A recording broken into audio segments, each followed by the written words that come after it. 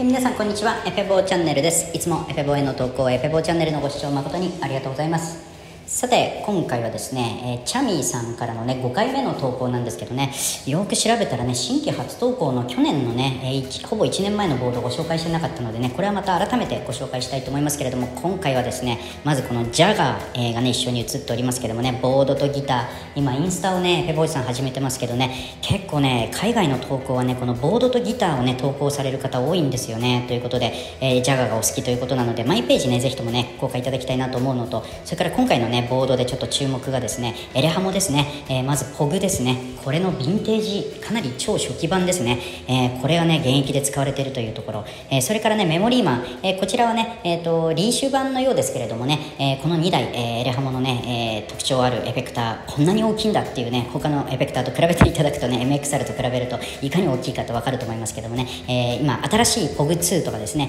えメモリーマンデラックスの新しいタイプも出てますのでね、えこちらに2台、え楽器店に行ってね試奏されることをお勧めしたいと思います。えー、この度は投稿誠にありがとうございました。新規初投稿のボードはね改めてご紹介したいと思います。ありがとうございます。